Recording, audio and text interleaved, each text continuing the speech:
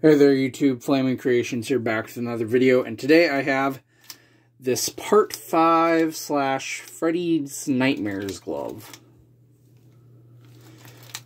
Um, I held a poll on my Facebook page as, uh, since right now I currently don't have any orders, as to uh, what glove I should do next. If I should do a part 2 promo, if I should do a uh, part 4 Apple glove with the replaced blades before it went missing. Or do a brand new glove that I've never built before and do a glove building tutorial series. And uh, this is the glove that won. um, we've recently got some new photos of this glove. Well, I shouldn't say new photos. Uh, this is the glove that I replicated here. Um, uh, I should say more so that this glove was more so recently screen matched.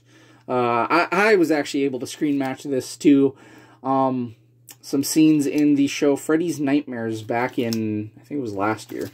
Someone was posting about a mystery glove in the series, and I jumped on it matching it, so.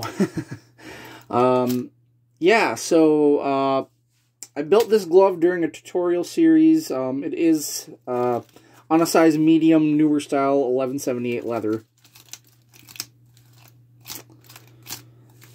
It's got butter knives for the index. The middle is a very thick butter knife.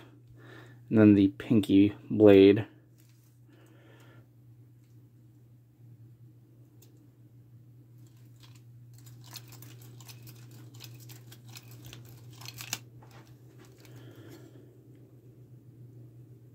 Really love how this backplate turned out weathering-wise. Uh, the copper is shiny now, but it should weather up with time.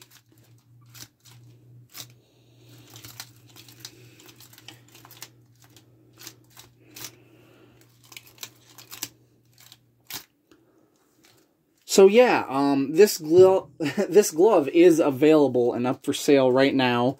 Um, I'm going to sell it for two hundred and thirty-five dollars.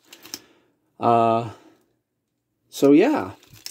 Um, for those of you who are also wondering, um, my orders list is cleared right now if you want to place an order. Otherwise, uh, might be starting another glove sometime next week. Uh, I'm not sure what glove I do. Might do the part 2 promo next. I don't know. Uh, for those of you who are interested, though, in the glove building tutorial series, check the description. There will be a link below in the video description for where to watch the 15-part tutorial series for how to build a Freddy glove. Uh, that's the only way that you'll be able to find the link to those videos. So, uh, thank you guys all so much for watching. Please remember to like and subscribe to the channel. If you're interested in purchasing this glove, along with some other goodies, uh, just let me know. See you guys.